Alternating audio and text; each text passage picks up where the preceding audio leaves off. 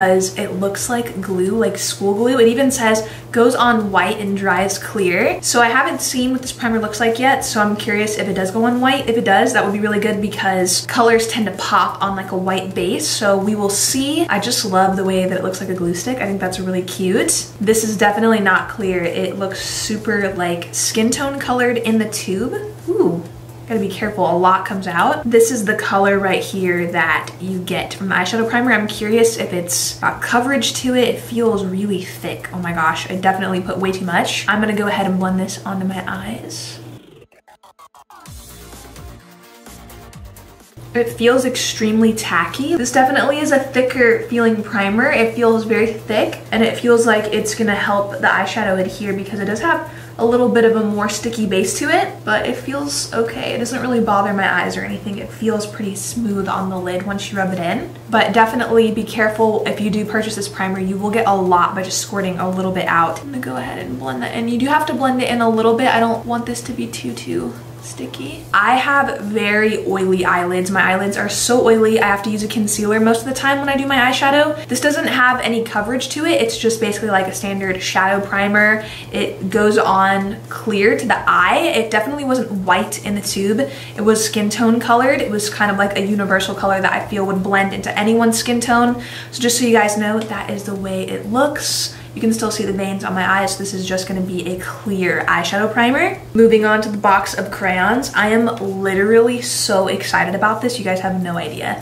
I cannot wait. I already have some colors in mind that I wanna do for this look. So I really don't want this look to be all over the place. I wanna stick with something that is colorful and beautiful. I'm gonna stick to these shades right in the center here, these blues, purples, and pinks. I don't really wanna get into anything else for this palette. Personally, me, when I'm buying a crayon palette, I wanna do something colorful and that's why I'm buying it because duh, you know what I'm saying? Like colorful. That's what I think of when I think of crayons. If I'm getting the crayon palette, I'm not looking to wear a neutral look. I wanna do something colorful and loud. So the first shade I'm gonna grab is called Pink and it's the shade right here. I'm gonna go ahead and blend this color into the upper crease because I really wanna fade the purples into a really soft, pretty baby pink like this. I am really hoping this palette performs well because I am so excited to use it right now. I cannot wait. I'm literally so excited. You guys have no idea. So the eyeshadow primer did crease a little bit. I don't typically set my eye um, before doing shadow. I just put the primer on or concealer and I just leave it. So I'm just gonna rub out the creases that I have. It's still pretty tacky, so I'm hoping that this blends nicely on top. Okay, we definitely have pigment. We have pigment. Okay guys, this is blending pretty easily right now. And I'm just being really soft with it. I'm keeping my hand at the end of the brush and I'm just lightly blending this out. And I feel like the pigment is pretty good. I think that the blendability is pretty good too. So I'm gonna keep going and see how this looks, but so far I like it. And you know, obviously with these colors, guys, they're gonna look different on every skin tone. So this light pink may look even more pink if you're more fair than me. It just depends on what your complexion is. I could see this color being a little bit more deep if you are tanner than me or have a more deeper skin tone, these colors are definitely gonna vary on different complexions. On me, I feel like this color, the pink, is definitely more of a rosy pink. It's not as baby pink as it looks in the pan, but I still think it's really pretty and it's definitely gonna work for this look. Picking up some more of the shade pink, I'm just going to start bringing this on the lower lash line because I want this look to connect.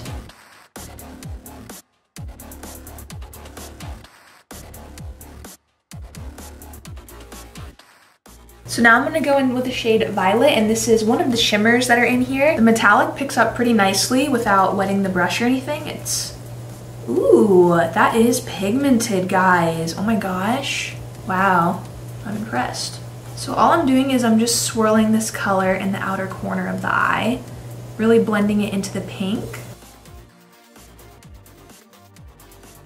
So I really want to make this more of a sharp, clean look. So I'm going to go in with a bit of translucent powder and I'm going to go ahead and pack this right on the outer corner of the eye, right where I'm blending the shadow. And I want to make sure that this is very sharp. So by applying this powder, it's going to keep all of that color in place and this will look really clean when we're finished. I can get pretty crazy with eyeshadow. I will blend my shadow literally out onto my eye because that's typically how I do a lot of my looks. But for this look, I really want to concentrate it just in this area and make it super sharp.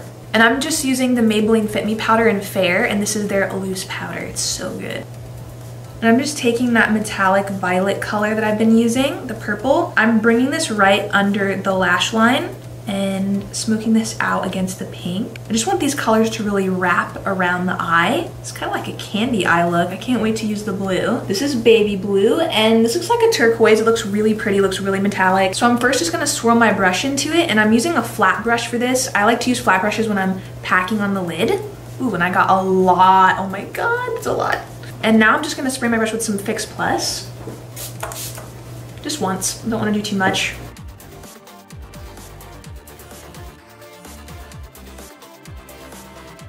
Dang, guys. Oh my god. Oh my gosh, you guys, this is so pretty. This color, baby blue, reminds me so much of Pegasus by Makeup Geek. That is like my favorite eyeshadow from Makeup Geek, and this honestly looks really close to it. Like it could definitely be like a dupe for that shadow. This is very foiled, very. It's really nice and metallic on the lid, and I'm just keeping it at the front of the lid, but I am gonna go in and blend a little bit right here. Cannot get over how pretty this color is. It looks so good. Then taking some more on a flat brush, I'm gonna bring this on the lower lash line.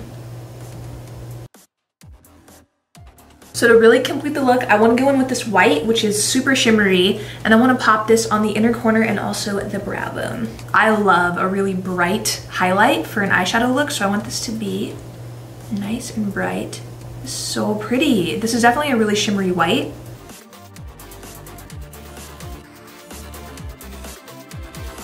Now I'm going to apply one of my favorite eyeliners, and this is from Sephora. This is a waterproof crayon, and it is in the shade Turquoise, which I think is perfect for this look.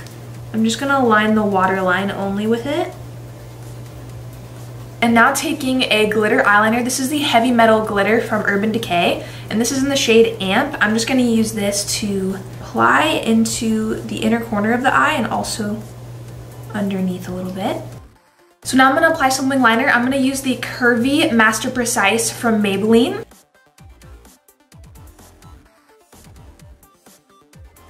When I say I'm doing a minimal wing, that's a lie, typically, because look how big my wing just got.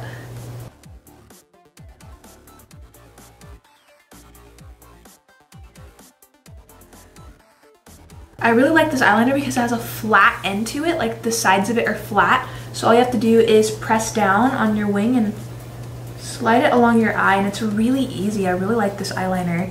Now I'm going to coat my lashes in mascara and I'm going to use the CoverGirl Peacock Flare Mascara. I've never tried this before so I'm really excited and I think it's really cute. And it's blue.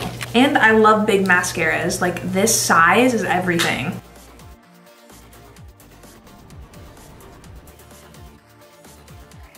I got my lashes on and I wanted to go in with a pink lip, so I'm popping on the CoverGirl Katy Kat Matte in Pink Paws. This is a really pretty pink color. I feel like it complements the pink that's up here.